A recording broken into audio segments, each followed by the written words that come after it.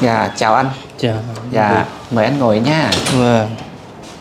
Gửi giấy. Dạ, rồi anh để đó cho em. Rồi vậy là anh đi từ hôm qua hay là sáng nay mới đi? Anh đi ờ, chiều hôm qua. À, đi từ chiều hôm qua là anh ha. Hôm qua đi từ Sài Gòn ờ, qua đây Dạ, nhắn tin cho em đó. dạ. Ừ. Rồi, dạ trước tiên đó là à, anh gửi lời chào cộng đồng rồi à, chúng ta sẽ trò chuyện ha và Dạ. buổi trò chuyện này sẽ được em à, ghi lại Vâng. để à, à, công bố thì đó là cái quy định của chương trình ha. Đúng rồi. Dạ. để lan tỏa đến cộng đồng rồi ai phù hợp Ừ. mình nữa thì sẽ à, kết nối anh ha Rồi. dạ. rồi mời anh à, có đôi điều anh trải lòng anh ha Trước tiên thì ờ, cũng chúc Tuấn Vĩ sức khỏe và cùng gia đình ờ, hạnh phúc và chúc cộng đồng thì, ờ, sức khỏe và hạnh phúc. Rồi. dạ cảm ơn anh rồi anh giới thiệu về mình cho cộng đồng được biết. À, mình ờ, tên Trần Văn Anh, sinh 1963. À, năm nay là 60 rồi đó. Dạ. Rồi. Rồi hôm nay anh đến với chương trình đó thì là anh có nguyện vọng gì để bày tỏ đến chương trình anh ha? Hôm nay mình đến thì à, chỉ có là bày tỏ về bản thân. Rồi sau đó thì à, những người nào thì à, nó cùng thương cảm cho nhau thì mình cùng kết nối để mà đến với nhau. Thì cũng qua kênh Tuấn Vĩ thì cũng mong rằng thì người nào chị em hay là ừ, như thế nào đó thì cảm nhận được Dạ. vì cho nhau thì à, như vậy là thì mình à, là là là có cái cảm mến với nhau thì Dạ. à, mình đến với nhau thôi à, Dạ. À, vậy là hôm nay thì anh muốn à, trải lòng và giới thiệu về bản thân. Vâng. À, rồi nếu ai phù hợp thì à, sẽ à, cùng à, gợi ý để kết nối anh ha. vâng Dạ. À, vậy là anh là Trần Văn Anh, à, sinh năm 1963. À, năm nay là coi như 59 tuổi rồi anh ha. à, Dạ. nếu tụi mình thì 60 rồi đó dạ. Vậy là à, tình trạng hôn nhân của à, anh Văn Anh thì thế nào anh ha? à, tình trạng thì mình là đã chia tay hơn 20 năm rồi Dạ. vâng Rồi à, anh được mấy cháu anh? anh à, có một cháu gái à, cũng ngoài 30 rồi Ồ. cũng đi làm hết rồi À, chỉ có một Dạ. cháu cháu thôi anh à? dạ có một một cháu một thôi Ừ, ừ, dạ. À, hiện tại thì anh đang sinh sống ở Đà Nẵng hay sao? vâng ở, ở trung tâm thành phố Đà Nẵng Dạ. À. Vậy thì anh vào ở trong miền Nam này là vào chơi hay là vào công việc gì rồi ghé mình à, mình vào đây là cái cái công việc về bên cái à, tư vấn cho cho cho người bạn Dạ. người bạn ngày xưa mình cũng à, năm 95 mình cũng làm ở thành phố Dạ. rồi tới năm à, 2000 mình lại về lại Đà Nẵng vì năm đó là Đà Nẵng giải tỏa đó Dạ. à, vậy đó À, vậy là công việc của anh là làm bên ngành gì mà vào trong đây đi tư vấn anh ha? thì à, mình à, bên à, thiết kế xây dựng á À, bên thiết kế xây dựng anh ha? vâng À, dạ. Ừm, công việc đó thì anh làm được lâu chưa và có thuận lợi không anh? À, công việc đó anh làm cũng à, hơn 30 năm rồi Ồ, hơn 30 năm, dạ, rồi lâu năm anh ha. lâu năm Dạ. nói chung là kinh nghiệm cũng à, đầy mình rồi Kinh nghiệm này mình rồi anh. vâng. Dạ. Rồi công việc có được thuận lợi không anh? Công việc thì à, những năm tháng trước dịch thì mình à, rất là thuận lợi Dạ. nhưng mà sau dịch đó là rồi thì cái hoàn cảnh ai cũng giống ai hết Dạ. vì cái cái cái cái cái, cái, cái tình hình chung á mà Dạ, tình hình nó nó đảo lộn cái công việc. chắc không phải là ừ, qua năm rồi bắt đầu mới, mới, mới mình phục hồi lại Dạ. mình đang trên đà phục hồi nhưng cũng cũng chưa được hoàn hảo lắm Dạ. Nói chung là em với cương vị là người kết nối nên là à, em cũng cần biết một số điều đó thì cái Vâng. gì mình mà cởi mở mình bày tỏ được thì mình cũng cố gắng Vâng. bày tỏ và cởi mở để cho bên kia hiểu được về cái đời sống của mình. đúng rồi À, đó thì à, em cũng muốn hỏi anh một chút xíu về cái à, cuộc sống hiện tại thì à, ừm, cái, cái cuộc cuộc sống của anh và điều kiện kinh tế rồi à, cho đến là công ăn việc làm này kia thì đối với anh anh cảm thấy anh có hài lòng với cái đời sống hiện tại của anh không và có gì trở ngại với anh không nói chung là cái trong cuộc sống hiện tại thì mình vẫn ờ, bình thường. Dạ. Vì ờ, qua dịch thì cũng cố gắng. Đó thì ờ, cái sinh hoạt của mình ờ, vì mình mình với là con gái thì thì nói chung con gái thì nó tự làm hết rồi.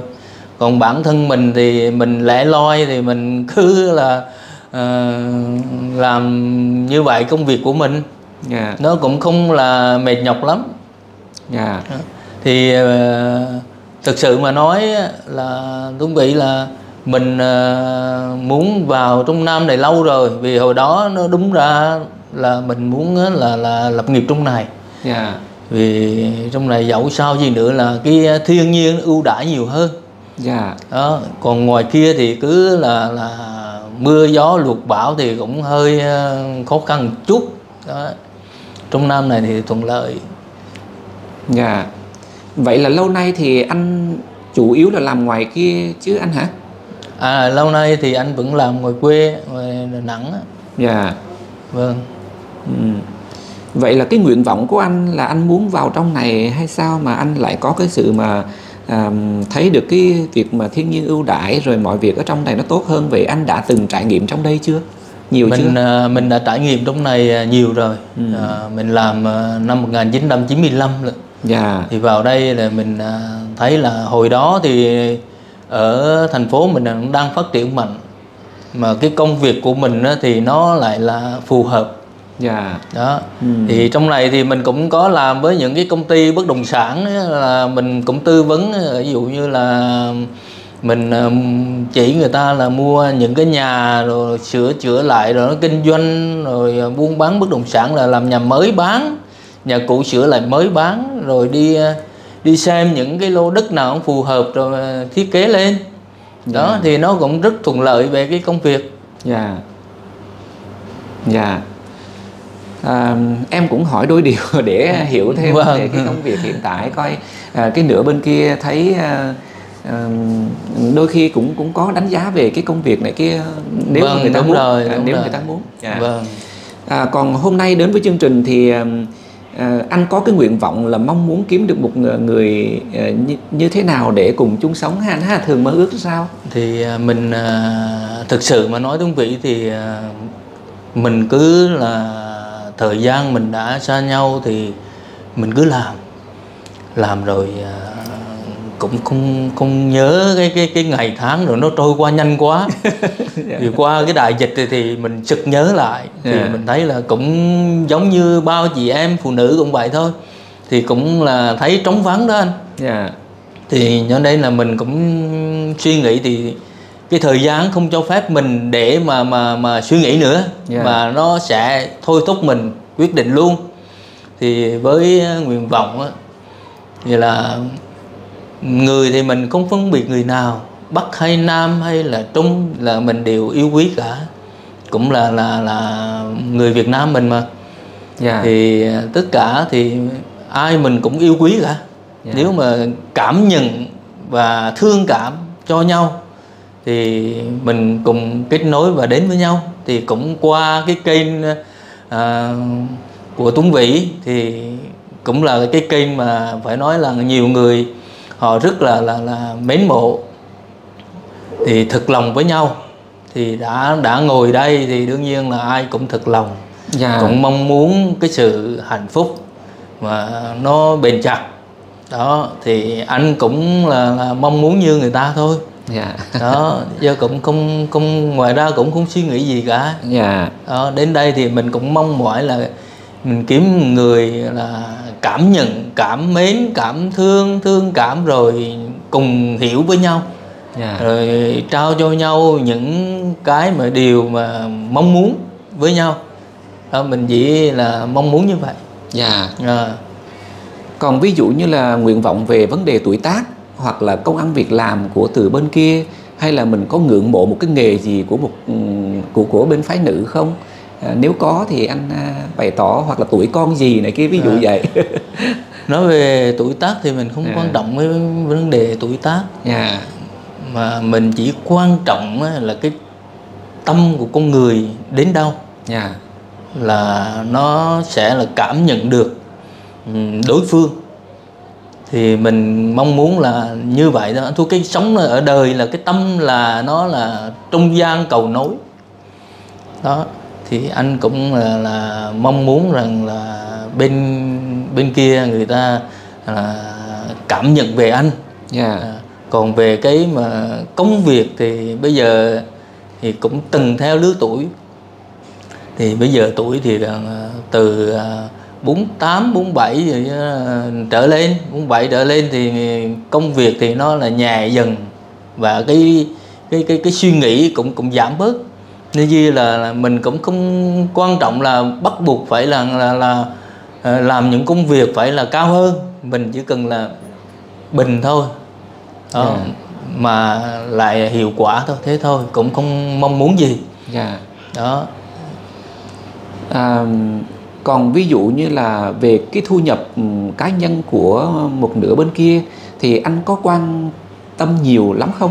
À, ví dụ như để về cùng nhau hỗ trợ về cái việc kinh tế cho nhau để không làm gánh nặng cho nhau hoặc này kia. Ví dụ như là như vậy thì anh có quan quan trọng lắm không? mình à, nói thực sự là cái công việc của mình là, cần cái cái cái cái người phụ nữ mà là phải hỗ trợ cho mình Dạ. những cái công việc mình là công việc nó là lớn hơn Dạ. nó nặng nề hơn Dạ. vì công việc nó trải rộng nhiều Dạ. nếu như là người đàn ông có làm gì mà không có người phụ nữ thì cũng bỏ à. Dạ. cũng không không thành công được theo anh nghiệm là không thành Dạ, công dạ, dạ. cũng như anh cũng vậy chứng minh rõ ràng là như vậy là mình làm biết bao nhiêu là công việc rồi mình ờ, cũng ờ, chạy vậy rồi cũng chịu khó anh cái gì anh cũng chịu khó là ví dụ như công việc anh làm là một giờ sáng là là xe bê tông tới nó đổ nó bơm thì mình phải có mặt vì cái trách nhiệm của mình Dạ. là anh không không ngại với cái điều đó mặc dầu mình mình mình sai lính nó làm nhưng mà rốt cuộc là mình cũng phải đến để gì để cho gia chủ người ta là có cái niềm tin hơn Dạ. Đó thì anh đã làm là anh phải làm hơn nữa là phải làm cho cho nó hoàn thành Dạ. tại vì cái à, con người là cái danh dự ở trên hết Dạ. đó thì anh cũng mong muốn rằng là nếu mà người phụ nữ mà người ta có một cái tầm nhìn sâu và rộng hơn thì người ta cảm nhận được cái lời của anh nói là đúng sự thật Dạ.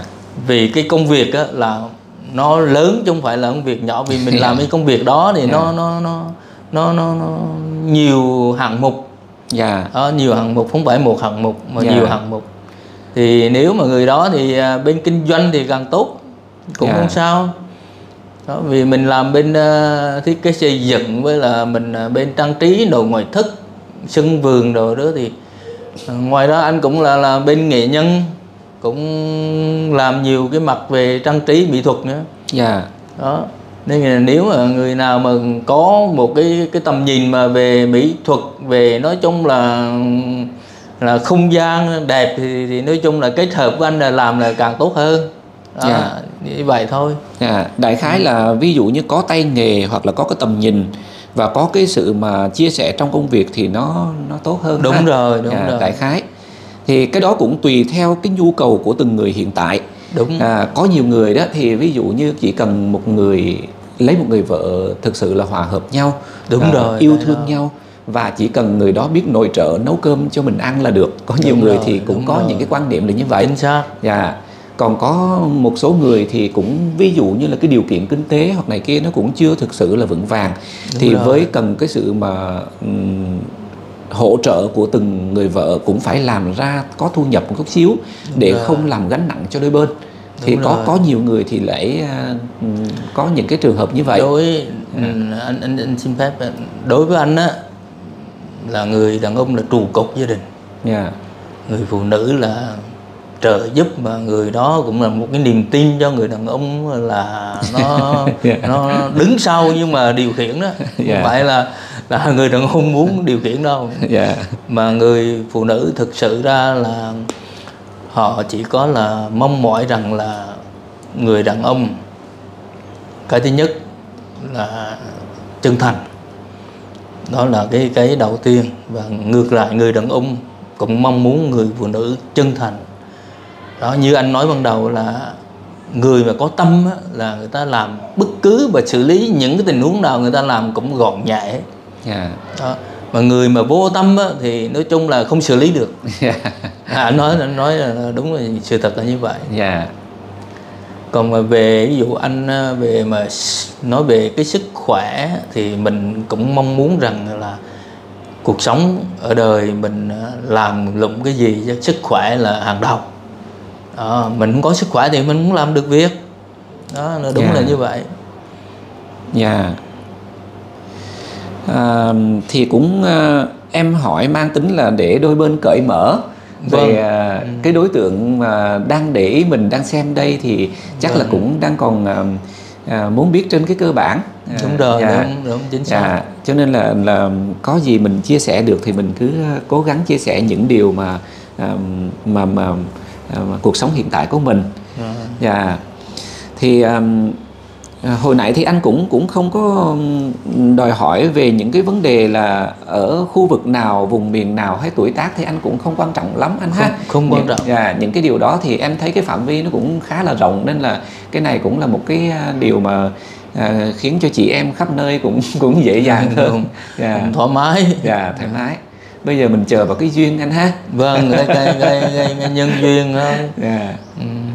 Còn và về- đúng đúng thực sự là ừm, trước đây đó thì à, em có quan niệm là khi còn còn trẻ khi em chưa lập gia đình đó thì em cái quan niệm là mình làm chừng nào mà mình cái điều kiện kinh tế thật là ổn rồi bắt đầu mình mới lấy vợ nhưng mà trong thực tế đó thì đúng thực sự là khi mà không có người phụ nữ kế bên thì không bao giờ mà có cái chuyện mà nói để mà kinh tế nó vững vàng đối với một người đàn ông độc thân hết. Chính xác. Dạ. Đó. cho nên đúng thực sự là phải cần có một người phụ nữ. Đúng. Dạ. Chỉ cần phải phải cần có một người phụ nữ để gọi là không biết là theo em nghĩ là nó thứ nhất là có nó cái phong thủy để nó chấn hay sao á. Mà không có phụ cái, nữ cái đó phong tiền. thủy là có đó. Cái đó là có. Dạ. Một là trắng tay hai là nguyên là bợ thôi. Dạ thì thì em nghĩ thực sự là ông trời ông sinh mà. Phải có vợ có chồng này kia thì có cái sự bàn bạc nữa rồi có cái sự mà đôi bên thống nhất này kia thì chắc là người ta hay gọi là hai đánh một không chột cũng đuôi gì đó. Ờ, chứ còn bây giờ mình một thân một mình muốn làm gì thì làm muốn tiêu Đúng. sao tiêu này kia là đôi khi cũng không được. Dạ. không kiểm soát được. Dạ, không kiểm soát được. Phải, phải có ờ, cục hàng đứng sau lưng mà mới kiểm soát chặt chẽ thôi sự. Mà đôi khi anh nói với thiệt với uh, tuấn vị làm những công việc gì mà nó có cái mà mình chưa tin tưởng lắm thì người đứng sau lưng mình mình phải bàn bạc người ta. Là nó rất là mau thành công. Dạ. Còn mà một một thân một mình mình nói thật sự đêm nằm gác tay trán chẳng biết hỏi ai. Dạ. Đây là là là tự quyết rồi là cũng không được dạ. Rồi hai người có ý kiến với nhau là hay hơn. Dạ. Đó. Rồi thưa anh, hôm nay thì à, em cũng à, rất là vui khi được à, chào đón anh cũng như là à, trong cái việc mà anh cởi mở thì em cũng có ghi nhận để à, em sẽ cập nhật. Rồi có ai mong muốn là kết nối với anh thì em sẽ ghi nhận và em sẽ gửi cho anh xem. Vâng, cảm cảm Dạ. ơn uh, Luân Vị Dạ. Vậy thì à, trước khi khép lại chương trình thì à, à, anh có điều gì muốn nói hay là có điều gì muốn nhắn gửi thì anh cứ tự nhiên. Rồi Vâng. cuối cùng nữa thì mình gửi lời chào đến cộng đồng rồi mình sẽ Đúng kết thúc rồi, buổi trò chuyện anh ha. thì qua cái um, là lời phỏng vấn của Tuấn Vĩ thì những cái câu chuyện mà những cái tấm lòng là tôi xin với ờ, thưa với là quý vị cộng đồng thì tôi cũng chân thành để nói ra hết. Thì sự mong mỏi rằng thì cuộc đời ai cũng là là có cái sự là mong muốn cái sự hạnh phúc. À, thì không ai là không mong muốn cả. Thì đối với tôi thì khi mà đã cảm nhận và thương cảm ai thì mọi cái mà của cái người đối phương đó mà à, quá khứ thì không không quan trọng mà mình chỉ cần quan trọng với cái hiện tại thôi còn cái cái cái quá khứ thì nó cũng không không là cái gì cả vì cuộc sống bây giờ mình chỉ biết ngang khúc này và trở về sau là mình sống như thế nào là Dạ. ok thôi Dạ. đó rồi à, cũng à, theo chương trình thì à, bản thân tôi thì cũng lên để mà mà gọi là à, nói về bản thân thôi. Đó chứ cũng không không chưa chưa cảm nhận và cũng ừm, chưa à, để ý ai cả. Đó thì à, sau này thì nếu mà mình còn xem được cái kênh của Tuấn Vĩ nhiều thì mình vì mình sẽ là là cảm nhận với ai đó thì mình sẽ alo cho Tuấn Vĩ. Đúng rồi. Đó thì Tuấn Vĩ sẽ là làm cái cầu nối. Dạ. thì à, qua đây thì cũng xin à, cảm ơn là cộng đồng mạng. À, cũng là một cái tầm nhìn rất là sâu sắc và có những cái à, bình luận rất là hay. Ờ, thực sự mà nói như vậy để xây dựng cho cho nhau thôi. Dạ đó chứ cũng cộng đồng mạng cũng không phải là nói về những cái mà mà gì mà nó chê bai ai cả. Nhưng mà ngoài cái chê bai đó thì có những cái, cái nhiều cái tiểu số thôi. Dạ. còn đa số thực thực sự mà nói xem thì, thì hầu như ai cũng thương cảm cả. Đó. Dạ. Thì cũng rất ờ, cảm ơn sự ờ, ờ, xem của cộng đồng mạng thì tôi cũng chúc ờ, quý vị cộng đồng mạng là sức khỏe và hạnh phúc viên mãn. Và cũng xin ờ, chúc ờ, gia đình Tuấn Vĩ cũng là sức khỏe và Tuấn Vĩ ngày càng coi như là đẹp trai hơn và cũng là kết nối nhiều anh chị em. Dạ. đó, thành công. Dạ. Đó, cái điều mong muốn là, ờ, tuyệt vời. Dạ. Ờ. rồi Rồi rồi em à, chúc anh à, sức khỏe và chúc anh có một chuyến đi. Thật là ý nghĩa. Rồi à, có cô nào muốn tìm hiểu về anh thì em sẽ ghi nhận và sẽ cho anh biết anh nha. Vâng cảm ơn Tuấn Rồi, Vĩ rồi, ok Rồi, anh. vâng. rồi vậy phiền anh nó cài micro cho cái người tiếp theo dùm em nha Vâng, nha Dạ, dạ, rồi, chào chào. anh dạ